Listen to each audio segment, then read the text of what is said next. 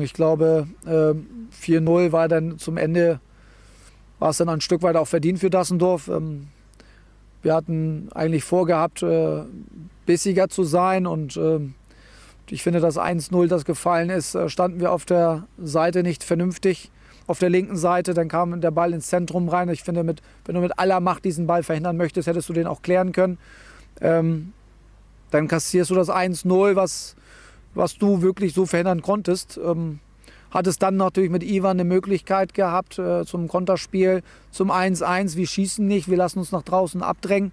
Warum auch immer passiert ähm, finden dann aber nicht so richtig mehr im Spiel. Und äh, nach dem 2-0, was eigentlich auch für mich zu verhindern war, also der Ball wird ins Zentrum reingespielt, äh, der, der Stürmer braucht sich nur von unseren Abwehrspieler wegzudrehen und ist dann praktisch alleine aufs Tor und dann steht 2-0 und dann ähm, ist es natürlich schwierig, gegen Dassendorf auch zurückzukommen. Man darf nie zufrieden sein, vielleicht die Passqualität noch ein bisschen bessern. Bei dem Rasen war es nicht so einfach, ein bisschen zu lang meiner Meinung nach, aber okay. Wir hatten auch gute Phasen im Spiel gehabt und wir müssen uns auch an den guten Phasen jetzt orientieren.